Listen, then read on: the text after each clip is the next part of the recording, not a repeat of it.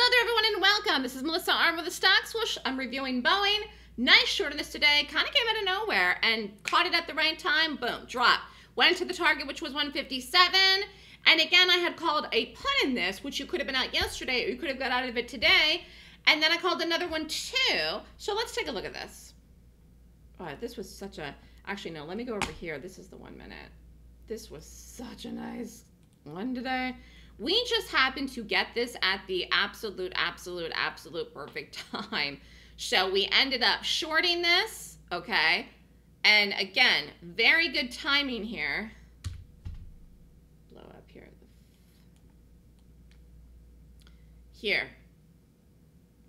Stop was up here, got the drop, boom, got the drop. Target was 157. That is exactly where it went exactly. Let me talk about exactly. I'm so good with the numbers.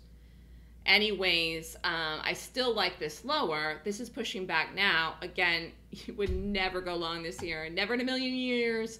So we'll see where this really even goes to. And I have to look at when the earnings are out on this, but this typically trends with the market. Right now, the diamonds are rallying today. The Qs and SPY rallied today, but I think they're running out of steam here into 2 o'clock. So this is pushing back. You have profit taking here from the shorts. And again, we're going to see where the market goes tomorrow and it'll be a very, very interesting Thursday and Friday.